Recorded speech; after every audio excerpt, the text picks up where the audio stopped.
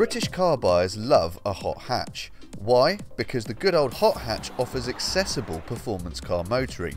The thing with hot hatches is that they come in all shapes and sizes, and there's one to suit every taste and every budget. Here's our pick of the best of them.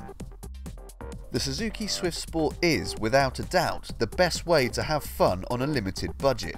For the same price as a mid-range rival, you can have the range-topping Swift with a fizzy 1.6 litre engine developing 134 brake horsepower. It has a rev-hungry nature that adds to the fun of the perky acceleration, and the weighty steering and adjustable handling make it a really enjoyable little car to chuck around. While the Swift is fun in a raucous kind of a way, the Fiesta is a lot more poised and polished. It skips from bend to bend with real grace and accuracy, and you always feel totally immersed in the action.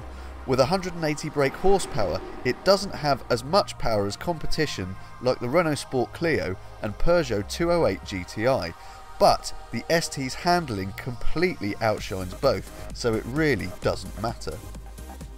The Renault Sport Megane is a very old piece of kit these days, but nevertheless it's still the best front wheel drive hot hatch money can buy. Our favourite version, the Cup S, has a stiffened suspension and limited slip differential to make it even sharper and more precise, but it's the sensations you feel through the controls, particularly the steering, that really mark this car out. The Focus RS does absolutely everything a good hot hatch should. It's insanely fast, it has unflappable grip and traction in all conditions, and the controls are responsive and full of feel. It also has another trick up its sleeve in the form of drift mode, which gets you sliding sideways in truly dramatic fashion. On the one hand, this car is an incredibly impressive piece of engineering, and on the other, it is completely bonkers. We absolutely love it. If you want your hot hatch to give you the ultimate bragging rights, look no further than the A45. Developing a truly staggering 376 brake horsepower from its turbocharged 2 litre engine, it's officially the hottest of all the hot hatches.